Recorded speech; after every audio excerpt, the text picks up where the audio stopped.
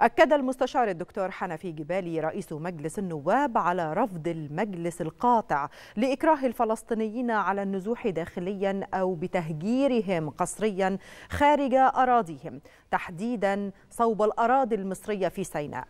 جاء هذا خلال الجلسة العامة لمجلس النواب لمناقشة طلبات الإحاطة حول تدابير الحكومة المصرية لوقف التهجير القسري للفلسطينيين.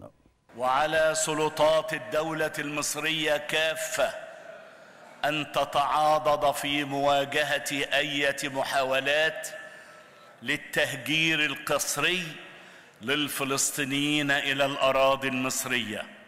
لما في ذلك من اعتداء خطير على أراضيها ومساس بأمنها وإن مجلس النواب من جانبه وبصفته السلطة التشريعية يسعى دوما إلى الحفاظ على مصالح الدولة العليا من كافة مخاطر الاعتداء سواء أكانت من جهة الداخل أو الخارج من خلال ما يسنه من تشريعات تجرم أي اعتداءات على أمن الدولة المصرية.